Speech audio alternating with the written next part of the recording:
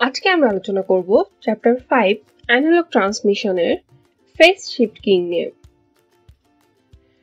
Types of digital to analog conversion আমরা জানি amplitude shifting বা এসকে ফ্রিকোয়েন্সি শিফটিং বা এফএসকে ফেস শিফটিং বা PSK R amplitude shifting ASK and phase shifting PSK combination quadrature amplitude modulation QAM আজকে আমরা phase shifting নিয়ে আলোচনা করব।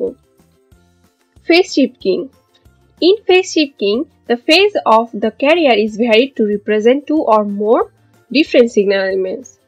এখানে কি করা যায়? ফেজ শিফটিং এর দুইটা বা তার বেশি ডিফারেন্ট সিগন্যাল এলিমেন্টস কে করা যায়? রিপ্রেজেন্ট করা যায়।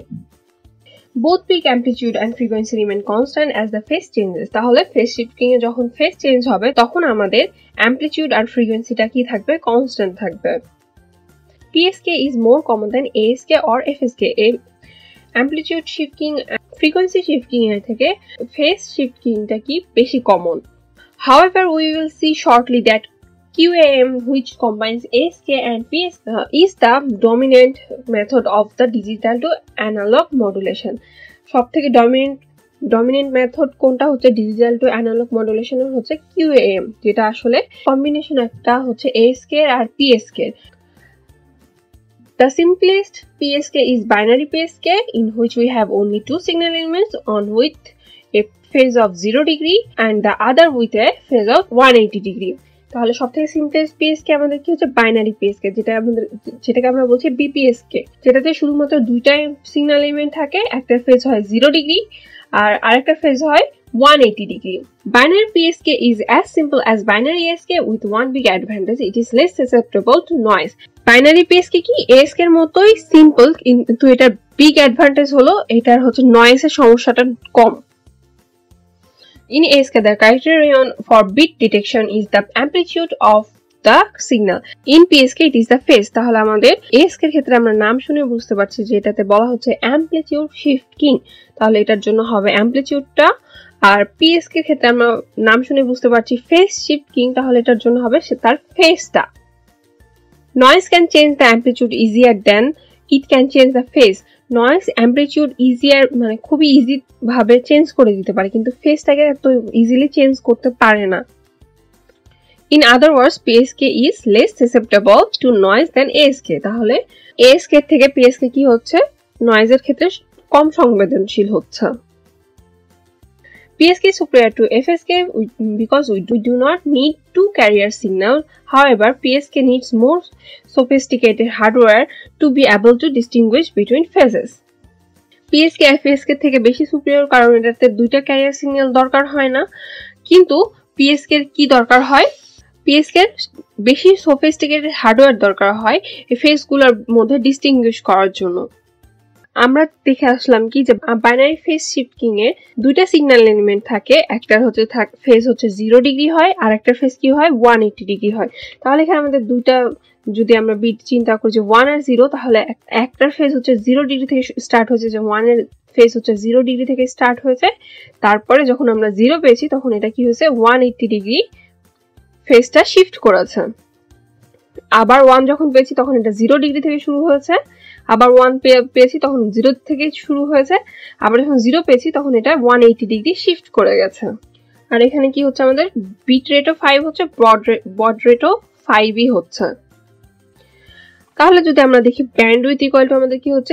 Bandwidth equal to one plus D into S হচ্ছে। তাহলে এখানে আমাদের বিটা কি হচ্ছে? আমাদের বিটা হচ্ছে ব্যান্ড উইথ আর এখানে ডি হচ্ছে ডিপেন্ড করে হচ্ছে মডুলেশন অ্যান্ড ফিল্টারিং প্রসেসের উপরে, যেটার ভ্যালু আসলে জিরো টু ওয়ানের মধ্যে হয়।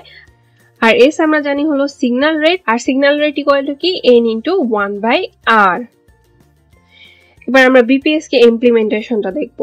প্রথমে কি হচ্ছে? আমাদের এটা আমাদের সিগন্যালটা আর তারপরে আমাদের এটা ক্যারিয়ার সিগন্যালটা এটা আমাদের কি? মডুলেটের সিগন্যালটা এখন আমরা এই মডুলেটের সিগন্যালটা কীভাবে পাচ্ছি? যখন আমরা ওয়ান পেয়েছি, তখন আমাদের এই সিগন্যালটা শুরু হয়েছে এই জিরো থেকে। যখন আমরা জিরো জিরো ডিগ্রি থেকে যখন আমরা জিরো পেয়েছি, তখন আমাদের এই সিগন্যালটা শুরু হয়েছে একশো আশি ডিগ্রি শিফট করে এই জায়গা থেকে। আবার যখন আমরা ওয়ান পেয়েছি, তখন আমাদের এই ফেজটা শুরু হয়েছে জিরো ডিগ্রি থেকে। আবার যখন আমরা ওয়ান পেয়েছি, এটা জিরো ডিগ্রি থেকে চলতে শুরু করেছে। আবার যখন আমরা এখানে জিরো পেয়েছি, তখন আমাদের এই ফেজটা একশো আশি ডিগ্রি শিফট করে এই জায়গা থেকে শুরু হয়েছে। তাহলে এখন যদি এই ফিগারটা আমরা চিন্তা করি, তাহলে আমরা দেখব যে এইটা আমাদের সিগন্যালটা ছিল আর এটা আমাদের অসিলেট অসিলেটর থেকে আমাদের ক্যারিয়ার সিগন্যালটা যাচ্ছিল। তারপরে এই মাল্টিপ্লায়ারের মাধ্যমে আমরা এটা আমাদের মডুলেটের সিগন্যালটা পাচ্ছিলাম। এবার আমরা দেখব quadrature phase shifting The simplicity of BPSK entices designers to use two bits at a time in each signal element. আমরা দেখে আসলাম যে বিপিএসকে তে আমরা কি করতে পারি? অ্যাট এ টাইম দুইটা বিট নিয়ে কাজ করতে পারি। যেটা একটা ফেজ জিরো ডিগ্রি থেকে শুরু হয় আর আরেকটা ফেজ শুরু হয় কি? একশো আশি ডিগ্রি থেকে শুরু হয়। Thereby decreasing the baud rate and eventually the required bandwidth. The scheme is called quadrature PSK or QPSK because it is use to separate BPSK modulation one is in phase, the other quadrature. তাহলে কি হচ্ছে? এই যাতে আমরা quadrature পিএসকে বা কিউপিএসকে বলছি কারণ এটাতে আমাদের দুইটা সেপারেট বিপিএসকে মডুলেশন আমরা ইউজ করব যেটা একটা থাকবে কি? ইন ফেজে আর একটা থাকবে আউট অফ ফেজে The incoming bits are first passed through a serial to parallel conversion. That sends one bit to one modulator and the next bit to other modulator. তাহলে কি হবে? যখন বিটসটা আসবে ফার্স্টে তখন সেটাকে কি করা হবে? সিরিয়াল টু প্যারাল কনভার্সন করা হবে। তখন প্রথম বিটটা যেটা পাওয়া যাবে সেটাকে একটা মডুলেটরে পাঠানো হবে। তারপর নেক্সট বিটটাকে কি করা হবে? আরেকটা মডুলেটরে পাঠানো হবে। এখানে তাহলে আমরা কি করছি? দুইটা মডুলেটর ইউজ করছি। If the duration of each bit in the incoming signal is t, the duration of each bit sent to the corresponding BPSK signal is twice t.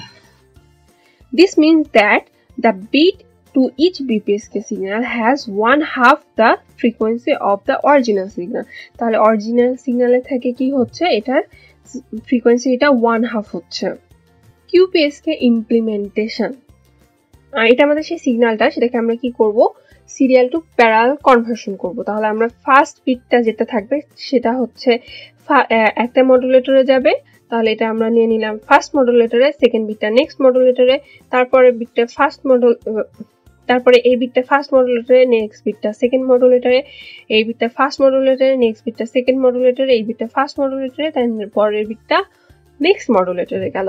এখানে বাইপোলার এনার্জেট ইউজ করা হয়েছে, তাহলে জিরোর জন্য আমাদের এটা কি হবে?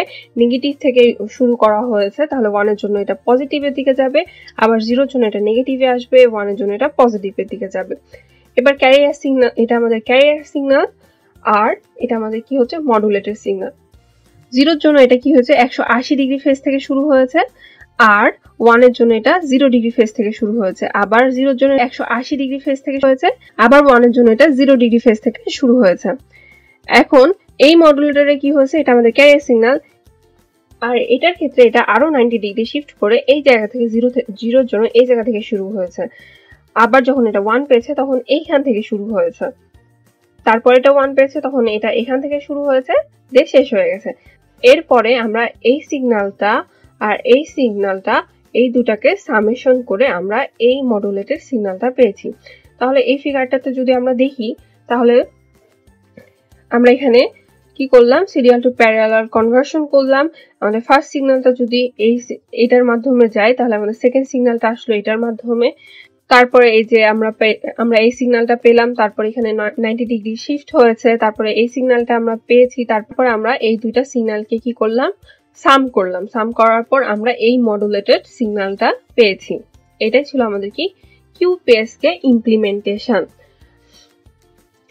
এরপরে আমরা কনসালটেশন ডায়াগ্রামগুলো নেক্সট ভিডিওতে দেখব। তো এই ছিল আজকের মতো। Thank you thank you for watching this video